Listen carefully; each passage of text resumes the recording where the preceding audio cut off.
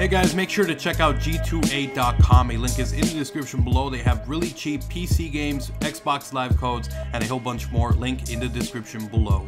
Yo guys, what's up? It's. Welcome back to another Call of Duty Infinite Warfare video now. And this one I actually wanted to talk a little bit about uh, some new info. So we're going to be talking about Call of Duty World War II. We're going to be talking about Infinite Warfare. And uh, I think it's going to be a pretty good update video here for stuff that's coming to Call of Duty. So the first one here, let's get the Infinite Warfare one out of the way because it is still the current Call of Duty. But basically today, I believe there was a little bit of a rumor going around that we might be getting some special holiday themed items, or should I say just holiday themed stuff in Infinite Warfare specifically possibly in zombies and also in multiplayer. And what I mean by this is that there was a live stream where Ashton and Mickner were actually live streaming. I believe it was DLC 4. And basically Ashton mentioned that there was holiday themed stuff or a Halloween something, one or another, uh, for Call of Duty Infinite Warfare. And I'll put the clip here so you guys can see it. Mixing up uh, zombies and MP for Halloween. I'm just, all I did was read that out loud. I'm not going to say anything else. I'm just, I just read it out loud for you. So if that uh, tells you anything, possibly.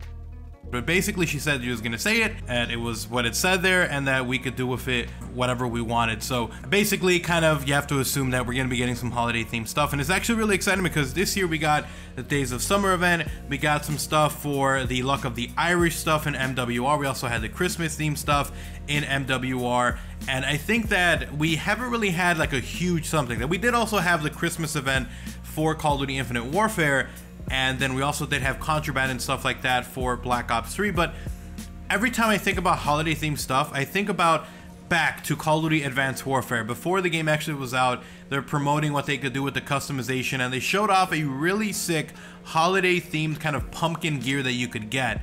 And when I saw this and a lot of people saw this, we got really excited. We're like, damn, we're gonna be getting some sick ass stuff. So I'm always kind of expecting that kind of stuff. Maybe not so much like maps being redone with like special effects for different themes, which is again, it's pretty cool.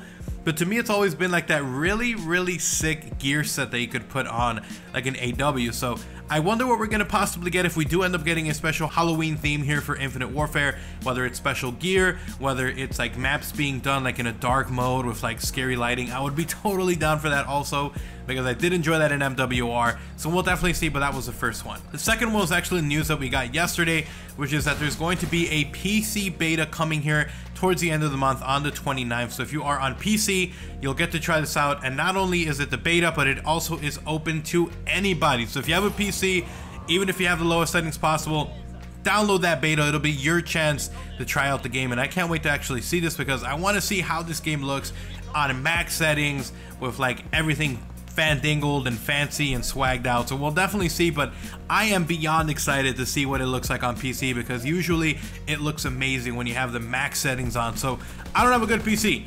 But hopefully, uh, whoever has a good PC is able to record it in the highest possible resolution, and we get to see what this game looks like when it's not holding anything back. So I'm really excited for that, and also getting to play a little bit. I'm not the best at PC, but I definitely can hold my own a little bit, I believe.